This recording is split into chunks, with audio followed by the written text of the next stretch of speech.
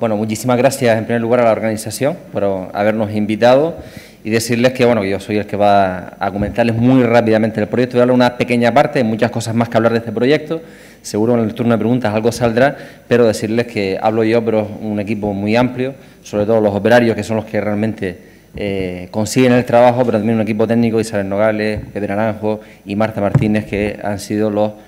los que han estado también trabajando en este proyecto y son partícipes del mismo. Bueno, de forma muy rápida, decirle que esto es un proyecto, como bien decía Aurelio, eh, live, que nace en, esta isla por parte del Cabildo de Gran Canaria y GESPLAN, y que, bueno, muy rápidamente es un proyecto dedicado a la restauración ambiental, pero que nace como idea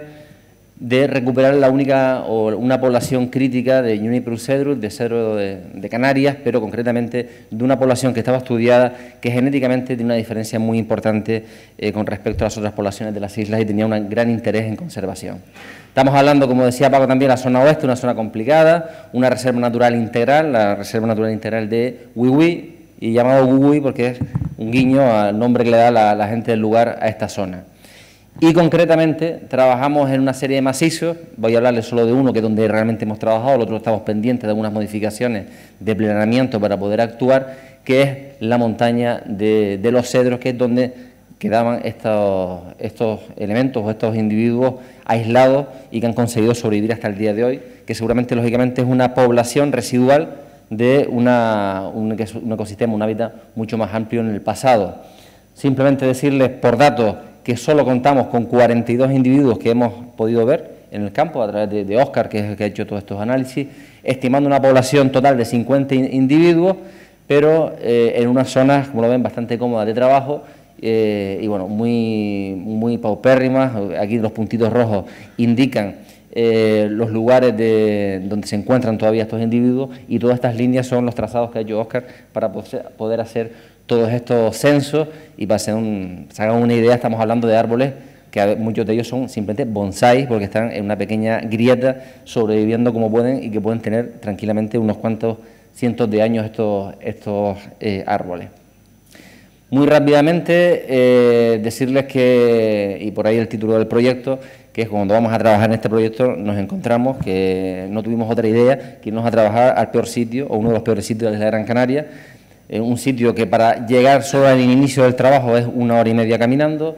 tienes que llevarte lógicamente todo encima, dificultades de acceso y unas condiciones climáticas muy, muy complicadas. Y aunque parezca mentira y uno ve esta foto y dice a, a quién se le ocurrió plantar aquí árboles, estamos hablando de un lugar donde está reflejado históricamente y tenemos sobre todo el reflejo de lo que queda todavía en aquellos sitios donde no ha llegado el hombre, no ha llegado el hombre en el sentido de, de zonas de pastoreo, zonas de cultivo, y sobre todo donde no llegan las cabras asilvestradas, tenemos representaciones de lo que algún día hubo en esta zona, cedros, pinos, brezos, laureles, cosas que a priori a nadie se hubiese ocurrido que existieran. Para que se hagan una idea, aquellos que no lo conozcan, que seguramente casi todos lo, conocen, estamos hablando de irnos a trabajar aquí arriba, en, el pico eh, de los cedros. Como les comentaba, es una zona eh, con, una alta, con una dificultad importante de trabajo, como ven, todo el trabajo hay que hacerlo a mano, el acceso a estos puntos son por todas estas aristas, estos riscos, hay que llevarlo. Aquí también hay que decir que una gran colaboración por parte del Cabildo de Gran Canaria, aparte del dinero del proyecto, ha puesto todos los medios con operarios específicos del, Cabildo, como son los presas, los bravos, etcétera, y el helicóptero de incendios que nos ha, nos ayudado muchísimo y sin él no hubiésemos llegado a desarrollar el proyecto. Y todo el trabajo, lógicamente, siempre a mano y con colaboraciones como los asesores científicos del proyecto. Y como digo, absolutamente todo el trabajo que se hace en este proyecto se hace a mano, cargando el agua a, espaldas y caminar con el agua para ir regando lo que hemos eh, ido plantando. Bueno, el objetivo del proyecto, básicamente recuperación de dos tipos de hábitat, estamos hablando de bosques de junípero en general, sabina, cedro, etcétera, y eh, los eh, matorrales de brezales y pinares en esta zona. Esta es el área de trabajo en, la zona de, los cedros, diferentes orientaciones. Esas orientaciones pues tienen diferentes planificaciones y protocolos de trabajo, que le digo, no, hay tiempo de contar todos esos protocolos como se hicieron, pero bueno, muy rápido en las preguntas, si alguien quiere eh, plantearlas, lo hacemos lógicamente. Y sobre todo decirles que una de las cosas más importantes que ha puesto en marcha este proyecto, que aunque parezca una chorrada, no tan chorrada, que es la calidad genética de las semillas o del material que vamos a utilizar en toda la, en toda la reforestación, siempre tirando o, cogiendo, eligiendo los pies padres de la zona próxima de trabajo. Y aquí se hicieron cosas como un pequeño paréntesis, curiosas y es una de las cosas importantes de que los proyectos de conservación y de restauración tengan incluido a comités científicos que, aparte de opinar, pues tengan capacidad de decisión, que es la, eh, la OLEA, el, el, acebuche, donde, eh, gracias a los trabajos que hizo Jardín Canario, se estableció y se descubrió que las poblaciones de acebuche de la isla de Gran Canaria tenían dos líneas genéticas diferenciadas y esto permitió eh, una iniciar un protocolo en los viveros forestales en la isla Gran Canaria que hasta ese momento no existía y hoy en día se está intentando desarrollar no solo este proyecto, sino la política en general del Cabildo, pues una mejora eh, en esas políticas genéticas de la restauración ambiental. Con un trabajo importante, recogida de semillas, tratamiento de semillas, lógicamente todo muy protocolizado para poder eh, asegurarnos de lo que estamos introduciendo en el campo y, como les decía, una logística muy importante a la hora de, hacer esta restauración a través de, como les decía antes, la colaboración del Cabildo con su helicóptero de incendios, eh, un protocolo importante de llevar la planta, desarmarla, meterla en cajas para poderla llevar en sacas, helicópteros, bueno, un equipo personal eh, muy amplio en, todo este sistema. Y bueno, con quedarnos por tener una pincelada solo del proyecto, eh, lo que hemos hecho, lo que hemos conseguido en cuanto a restauración en esas zonas de trabajo, hemos plantado más de 20.000 árboles en toda la zona de, trabajo, en, esa zona que ustedes vieron. Estamos hablando que, lógicamente, los principales, eh, hablamos de los protagonistas de, protagonistas de esos hábitats, pino canarensis, cedro, eh, sabina, acebuche, almácigo, y también algo de laurisilva sérica, que como antes les comentaba, que puede parecer una, locura plantear laurisilva en este tipo de zonas, existen individuos que han sobrevivido y todavía continúan en muchas zonas de, estas partes. Y bueno, y aquí tenemos un dato que es más pensador, no solo lo que se hace y lo que se planta, sino lo que sobrevive, que es lo más importante. Bueno, vemos que, como era lógico también, tenemos una gran o una importante supervivencia en aquellas especies que a priori son las más coherentes para la zona de trabajo que estamos hablando.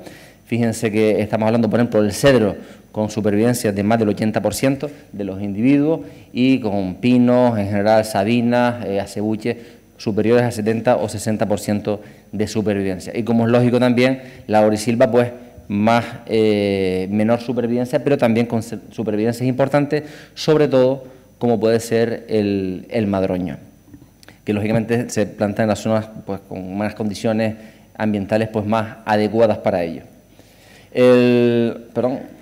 esto simplemente algunas imágenes de lo que estamos haciendo y permítanme la broma por una cuestión final que voy a hacer, hablaban de, los costes ¿no? que tenía este tipo de proyectos y, gastarnos tanto dinero en, conservación y en restauración, pero yo les digo que los importadores de, hierro en la isla de Gran Canaria están contentísimos con nosotros porque tenemos la, montaña pues eh, así de bonita.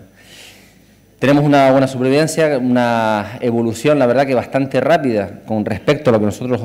inicialmente podríamos haber esperado de las plantaciones. Estos árboles, algunos tienen apenas dos años de, vida. Y bueno, como ven, eh, pues tenemos una, una imagen de, desarrollo. Esto es un madroño con unos desarrollos bastante importantes en, en la zona. Decir que, por ejemplo, el cedro hemos pasado de tener apenas 50 individuos, a día de hoy solo en la montaña de los cedros a más de mil individuos eh, plantados. Y como digo, y cosas esperanzadoras, como decía Paco, pues muchos de ellos, como los bresos, ya dando, eh, floreciendo y dando semillas, que lógicamente ese es el futuro. Y fíjense, cedro, que bueno, con altura ya, este ya casi tiene su, metro sesenta de una vez plantado. Y bueno, y por ser rápido, para dar tiempo a, las preguntas, pero no, no me puedo olvidar de esta parte, simplemente dejarla aquí,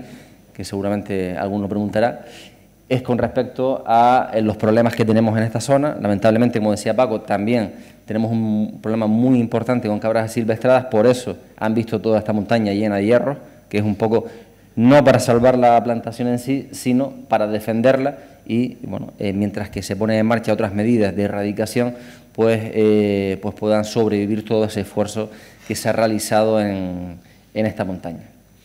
Y bueno, y como resultados principales, eh, hablarles de, sobre todo de esa, la importancia de la recuperación de esa especie genética, porque hay un trabajo genético importante del cedro a la isla de Gran Canaria, y más de dos hectáreas restauradas en, por parte del proyecto, un proyecto que ya finalizó en diciembre del año pasado, que ahora está continuando con lo que se denomina programa Post-Life, y que vamos a estar durante cinco años pues continuando trabajando en esta zona y en otras de la isla, que le digo, lo he hecho muy rápido para que no, no consumir el tiempo, pero aunque no he tenido tiempo de hablar también de la parte de divulgación, que como comentaban algunos otros ponentes, también es fundamental, muy importante, por lo menos una gráfica que refleje el esfuerzo realizado de muchísimas acciones con escolares, con diferentes colectivos y eh, bueno, con, diferentes partes de la sociedad para eh, conocer por un lado, participar también en este proyecto y, como no, que lo decía antes, yo creo que lo más que ha puesto este proyecto en la parte social es poner sobre la mesa el gravísimo problema que existe no solo en esta isla, en general en las Islas Canarias con las cabras silvestradas y hemos visto en otras islas como Seychelles y otras con, las especies invasoras y la importancia de ponerlo sobre la mesa para tomar decisiones al respecto. Muchísimas gracias, espero que no me haya pasado el tiempo.